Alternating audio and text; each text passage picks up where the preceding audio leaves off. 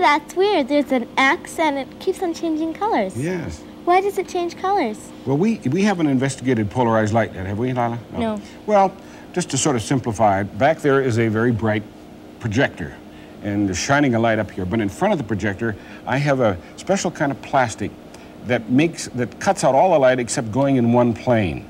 And of course, because the plastic is turning, that plane is constantly turning. Then behind this screen, I have another one of those pieces of plastic. When the two of them are exactly at right angles, that's when it gets dark, like that. And When the two of them are lined up, then it gets light. But in between those two things, I am putting plain cellophane tape. And it has the characteristics of twisting that light just a little bit to produce a color. Oh, Watch, I'll put another one right over the middle, and you watch what happens to the center.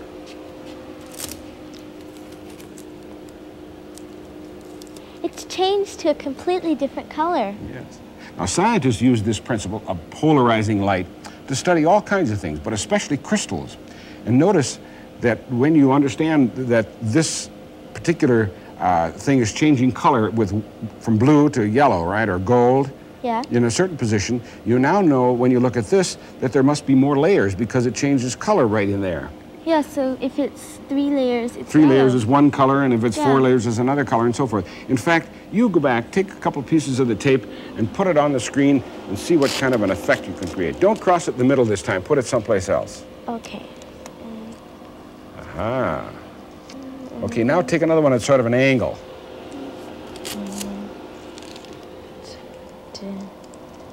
Okay, now come around and see what you've done. Now everything's Now, well, now we have a time. now we have a red and a blue up here. See, here's two layers right here. Also, it depends on what angle you cross them. So you're getting all kinds of different effects. That's neat. Now, scientists don't necessarily do this for spinning. They do it to study, you know, the surfaces and the layers of crystals. But it's sort of fun to be able to play with it and make modern works of art. In fact, I have one all prepared. Do you? If yes, if you wait there for just a minute, I will bring it up, and you will see what you can do when you do layer after layer after layer. Oh, that's beautiful. Isn't that pretty?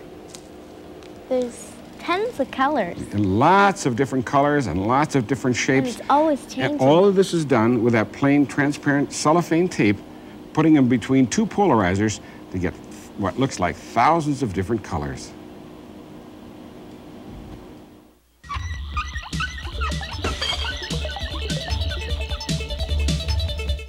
Jason, do you have a wading pool like this? Yeah, my little sister has one. Okay, well, they're a great lake in which to launch a jet powered boat, which this bottle is. That's a boat? It looks like a plastic bottle, which it really is, but you can make it into a jet powered boat by first of all putting waterproof tape and putting two nails at the bottom. They're the ballast. And later on, see if you can figure out what that thing is. Okay. Back here at the back end is a tiny hole. Oh. Now, here's the kind of tablets that you put into water and they fizz. You break them oh. up and put them in the boat because that's going to be our fuel. Okay. When you put water on those tablets, they give off carbon dioxide gas, and we're going to have the bottle full of water, so there's going to be pressure inside. If I put the top on, where's the pressure going to go? Oh, okay. So it's going to come out the little hole at the back. Right. And as the gas and water come out the back, what happens to the boat? It goes forward. All right. So all you have to do is now is add water,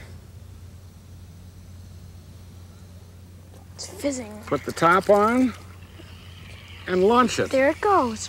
Oh, I see what that little piece of tape is for now. It's kind of like a rudder to steer it. Yes.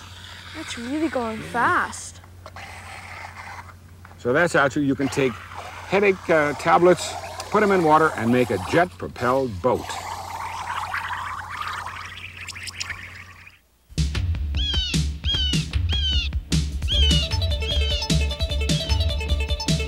Mouse on the left is a lot heavier than the mouse on the right.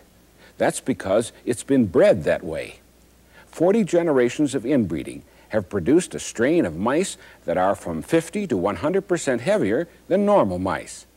Scientists at Colorado State University have bred the mice for nutrition experiments to determine the effects of heredity and diet. Both the fat mice and a comparison group of normal mice are fed special diets.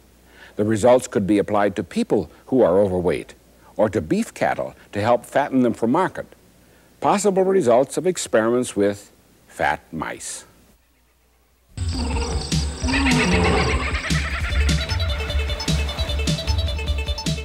Lila, see the little red one there? Yeah. That's called a seed shrimp, I think. A shrimp? Well, they're not really shrimp, but they look like a seed, so they're called shrimp. They're probably the same family. Anyway, you, you told me that you've been out uh, collecting insects in the pond? Yeah. What happened? Well, we went down to our pond and we got some nets and we if we saw something we grabbed at it. Mhm. We put it in little specimen jars and then we looked it up in a book and Mm. wrote down what it was. What, what'd you find? Well, we found some leeches and we found uh, little trout and we found a whole bunch of water boatmen and Mm-hmm. You'll find some Shrimp and everything. In fact, there's a water boatman swimming along right there, right? You recognize him? They're kind of funny. They look like a little bug with two oars that stick out and they roll Yeah. along. That's why they're called water boatmen. Well, the way I like to do it is to go down to the pond with a pa- pail and dig out some of the bottom, some of the middle, and some of the top, bring it home, and then put it in an aquarium like this. Let it settle for a day or two, put a light over the top, and now you have the pond at home so that you can look at it at your leisure.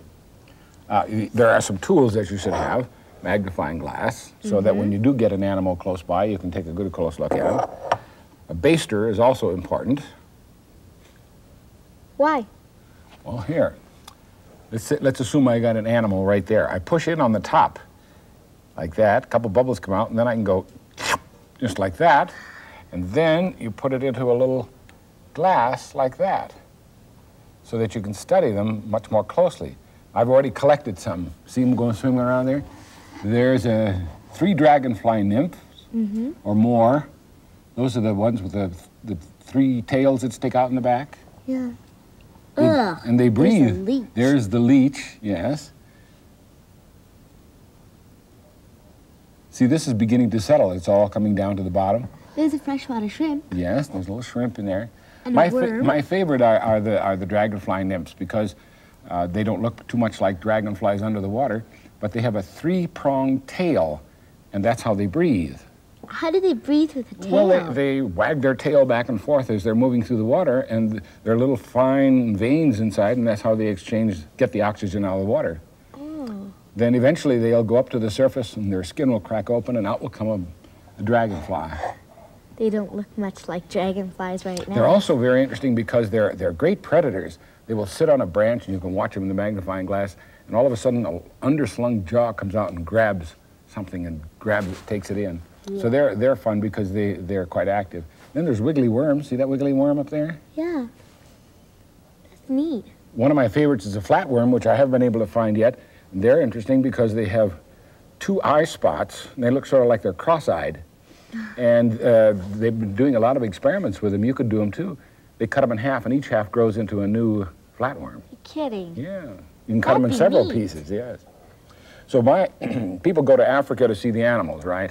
You can see why I call this my uh, underwater safari. Yeah. Because the animals that you'll find are far more interesting than those you'll find in Africa because they're so unusual. You get a book from the library, as you did, and look them up, and you can have hours and hours of fun with an underwater safari.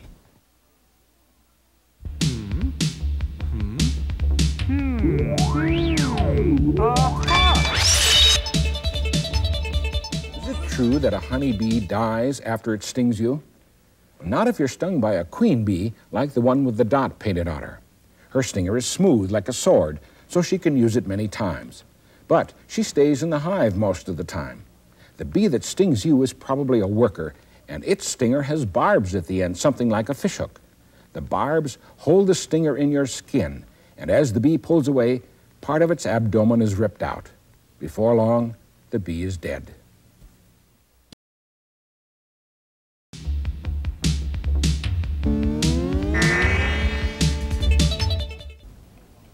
Billy, this rock, when it broke off the rest of the rocks, looked like this. And after a few thousand years, it looked like this. Do you know what makes rocks rounded like that? You've seen rocks rounded, haven't you? Yeah. Yeah. What makes them round? Mm, The wind, the weather, Mm-hmm. nature. In nature. Well, actually, as a matter of fact, most of the time it's water that carries sand. And as the water flows by, the little grains of sand wear this away and wear it away and wear it away until all the edges are rounded. Well, today I'm going to introduce you to the science of lapidary. Do you know what a lapidary is? No, I don't. Well, he's a specialist, or she is a specialist in working with stones and gems and so. In fact, what you do is you go out and you find rocks like these. I see they're all sharp and Yeah, they have sharp edges and all that sort of stuff. Well, what you're going to do is put them into a uh, little container like this and condense what took nature a couple of thousand years. You're going to do it in a couple of weeks. So take those rough stones and put them in this little container. You add some water, just like in, nature. Put in some more. Okay. Now you got to do something that takes the place of the sand that's in the water. You This see that? grit? Yeah, you see that grit? Look, isn't it beautiful how it shines? yeah. Well, that's very, very hard material that's going to take off those edges. So put in some of that. That it? Okay, that's good enough for now, anyway. Okay. Now we put the top on so it's nice and watertight. Oh, I get it. What? You put that, you put this on that, And then what? and it turns. Yes, you can see why they, that's called a rock tumbler. Hmm. Because it's going to tumble the rocks over and over. And how are they going to get smooth? By this grit. Right, that grit, that's right. That's the first stage. As soon as I get it on here, I'll show you. Okay, here we go. Is this what happens to the rocks in the second stage? Mm-hmm. First of all, let's Nice get the first stage started. Okay. There we go. Now, what's going on inside there? They're tumbling around in the water and the grit is taking off the sharp edges. Yes. Okay, then after a while, they begin to look like this. All nice and smooth. Yes, they're all nice and smooth. Then you take the, take the water out after three, four, five days. Yeah. Take the water out, wash it out good to get rid of all of this big grit. Then you put in this grit. It's even finer. Yes. Then you do that for a couple of days, and then wash it all out, and then you put in this grit. looks like volcanic ash. Yeah, real powdery. Then finally, you put in, wash it all out again, and put in this real, real powdery stuff. And here's what you finally end up with. Look, Oh, nice shiny rocks. aren't they nice and shiny? Then, of course, after you've got them looking like this, you can go to the hobby shop. You buy various kinds of gold-looking things to use them on. For example, here is a special kind of rock that uh, started out looking something like those, but it has this orange and, or yellowish and brown thing. It's called a cat's eye, and they turn out very nice, don't they? Yeah, they are. Okay, then what you do is after you've got the the gold thing, you mount it on it like that, and you have a keychain. It's a very nice keychain. Would you like to keep that? Sure. Okay, yeah. Thanks. Okay. Now, while it took nature a couple of thousand years to make rocks like this into rocks like this, in just a couple of weeks, with this thing turning in your basement or your or your garage, you can have rocks that started out looking like that, eventually became looking like that, and finally end up looking like that.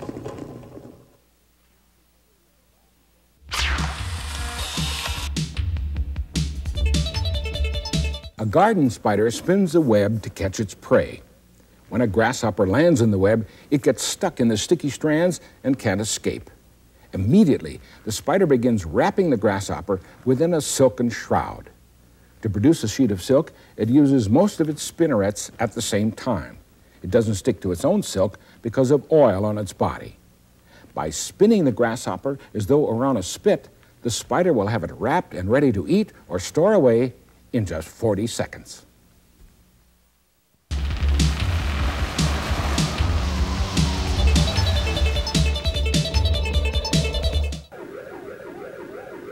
Well, you're doing pretty well. Yeah. Look out, there comes a, oh, Oh, no. Oh, crash. Well, you've played games like this before, haven't you? Yes, I have. All right, let's turn it off. Well, okay. And I understand you're president of the computer club. Yes. Well, congratulations. Thank you. You've looked inside a computer at some time or other? Yes, I have. Okay, well, let's take a look inside this one. Okay. I have it all ready so that we can take it apart relatively quickly. I will disconnect this and disconnect that. Okay. What are those for? Well, that's to connect the keyboard, you know, to the rest of the thing. Okay. And there's what the keyboard looks like underneath. Okay, now what do you see? A big piece of metal or yeah, a big piece of aluminum. Any idea what that's for? Not really. Well, when you turn on the computer and you feed the signal over to the television set up there, you're actually a little television station. so you're sending out signals that could interfere with other sets. So this is shielding. They put this over the top to keep the signals right here oh. and send them only through the wires up to your television set. Okay, now if we take this off, now you get at the real part of the computer. Oh, yes. This is what you've seen before, I Yeah. assume. Yeah. You know, recognize what those are? Those are ROM chips and RAM chips. Well, chips? this one is the ROM chip, and this uh, it's not the chip. The chip is actually buried inside here, and all these little, little bumps that you see are the wires that are connected to it to make it go all other places. And this is the central processing unit of this one. Oh. You see these eight along here? Yes. Um, This is an eight-bit computer. You've heard of that? Yes, I have. Okay. Each one of these sends a, uh, a byte off to the screen, and uh, each little dot has to have a signal from each one of those. What is this? That one, from what I understand, is the color control. You can control the color image on the screen by juggling that. And oh. here's what happens, you see, when you put in the joystick, Yeah, the current goes through all flows these little things and goes all over the place. And here's where the cartridge goes in over here. Comes down to Yeah, these. goes down to those. Anyway, that's a look inside. It's very complicated, and I certainly have a great deal of respect for the engineers who design that kind of thing. Let's put the shielding back on, and then we'll put the cover on, because not all of the computer is so complicated.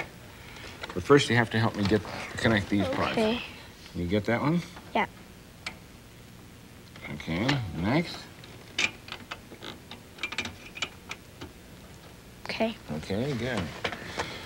Now, you were working that joystick before. Yes, I was. Yeah, and I'll bet you haven't taken a joystick apart. No, I No, haven't. Ordinarily, you don't do that. Well, let's take a look at this one. I had you hold it on the top because I've already got all the screws out. First of all, look what's underneath. A little plate or something. A little plate. You see that plastic wheel? Yes. Put, move the joystick. Oh, it presses down on something on the yes. plate. on See, there are four little bumps there, Yeah. and that presses on it. Now on these little silver. Right. Well, here, let's take a look at it. We can pull it up like this. Let's assume the current is coming in down here. See how it follows on those copper things? Yes. And then trace that one. When it gets right to there, it stops Why? because there's a that's a switch. Oh, so if you press it Press, in. press it in on go that right completes, through. and that's what that little plastic wheel does. Oh, neat. So now you can press this one and this one at the same time, And or any one of them. And here's the one that was the sort of the start button. Okay. All right, this time you're going to play the game, but you can't use the joystick. You have to use the switches. Oh, no. Okay. Take it. Go ahead. Hang on. to- Are you ready? Okay. Um, yeah. Let's see how you do.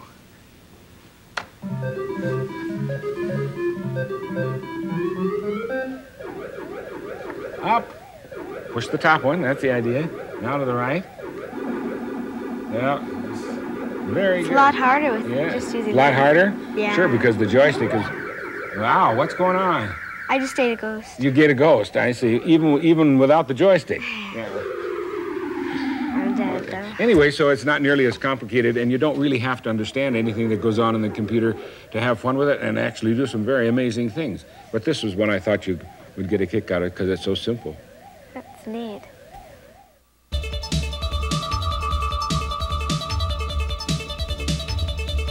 You're hiking in the woods, and suddenly, there up ahead, you see a mound rising up from the flat countryside.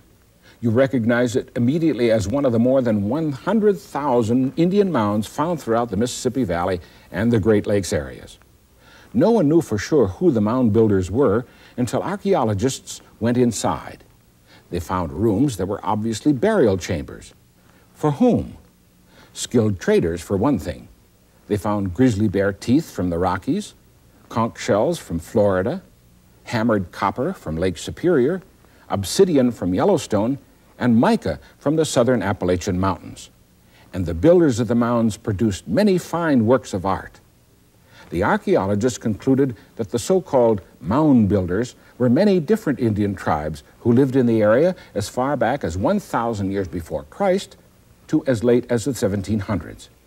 All we know about these early Americans comes from the evidence buried in their mounds.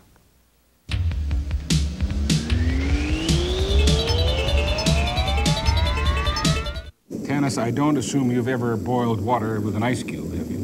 No.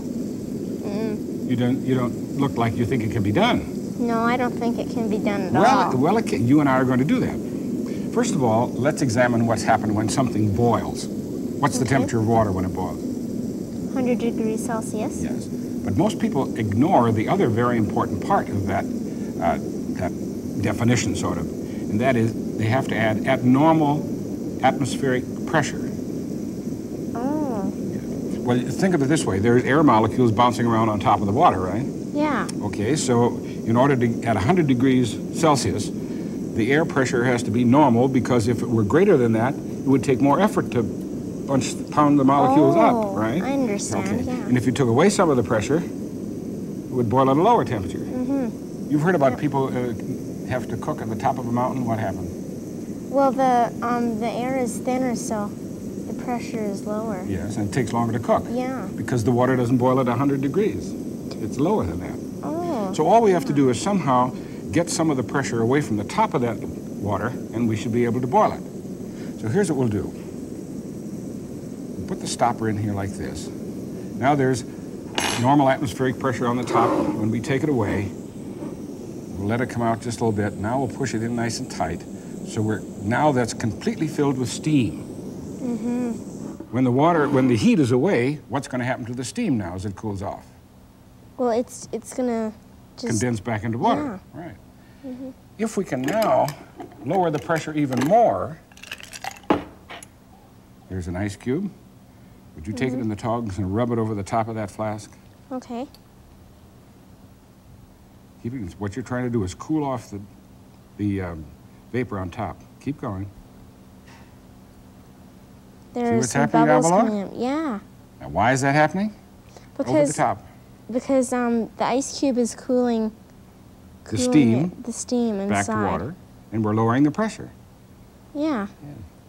Now, we wouldn't want to go on and do this too long Okay. because what would happen if we kept rubbing the ice over there all the time and the pressure would get lower and lower and lower and lower? Well, the flask would explode. Oh, no, no. The correct term is implode. Oh, the opposite of explode. Yes. And that's why we do it in a round flask because it's stronger than a regular kind of flask. So I think I'll take the stopper out before the pressure gets too low. Okay, so now who are you going to tell that you boiled water with an ice cube? Well, I'm gonna show my friend Melinda. Yeah. Think she'll believe you? Yeah, I, I hope so. And you can explain it yeah. about lowering the pressure? Mm-hmm. Good.